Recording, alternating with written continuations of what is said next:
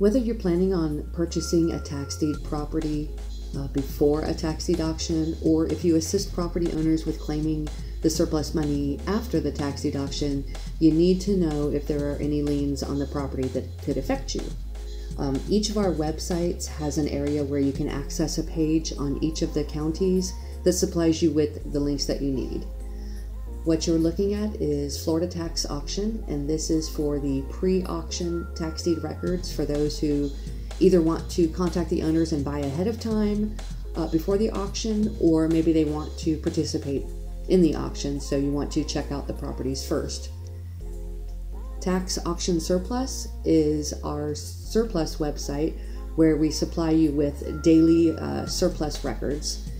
And surplusdatabase.com is basically the same thing. We supply you with the, uh, daily surplus records, but we also give you a business website and an online database to organize your records and help you uh, facilitate the process of performing your asset recovery duties.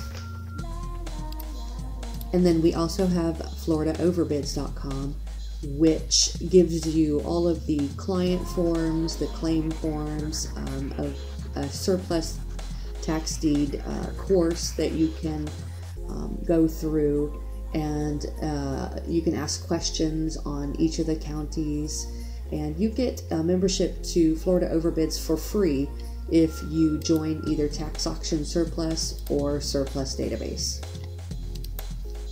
Now, if you are on Florida Tax Auction, which is the pre auction uh, tax deed records, you would uh, go to My Account and click on County Pages. And this gives you a link to uh, each of the counties in Florida. And I'll just open up uh, Charlotte here to show you. And here is a link to each of the items that you would need. Plus, there is uh, statistics and a lot of other information on each of the county pages. On Tax Auction Surplus, uh, you would go to My Account and then choose either the basic or the extended and pro level items depending on what membership level you are on. And then you would just scroll down to the last link, county websites and links. And what that does is bring you over to FloridaOverbids.com where you have a link to each of the counties. Because, like I said, if you are a client on Tax Auction Surplus, you do get a free membership on Florida Overbids.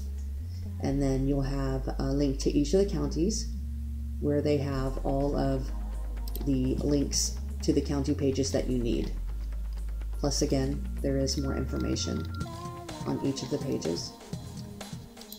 And if you are a member on Surplus Database, you would go to My Account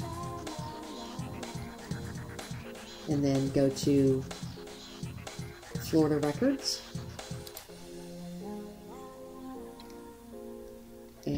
county websites right here.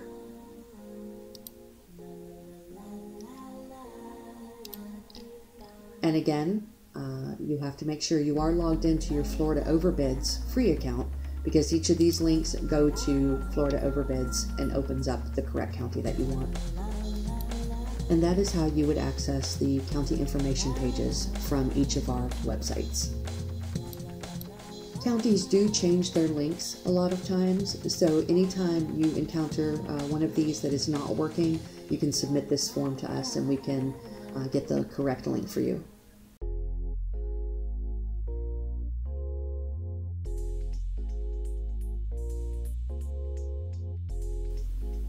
We're going to locate and download the property information for Bay County.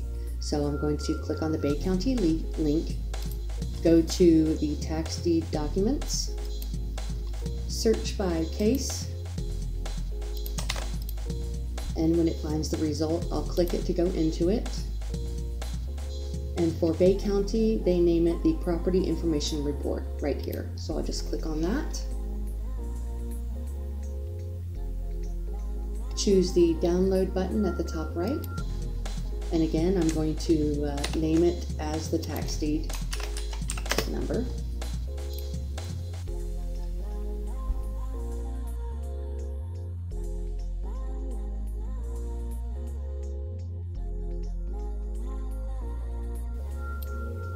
And once I have it open, I just scroll down and right here, the mortgages would be here and all other liens would be under here. Now this is a judgment and here is the book and page number.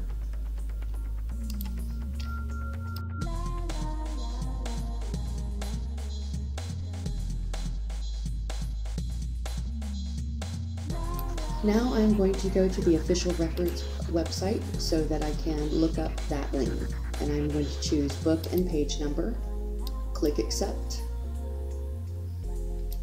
and then just type in the numbers into the book and page.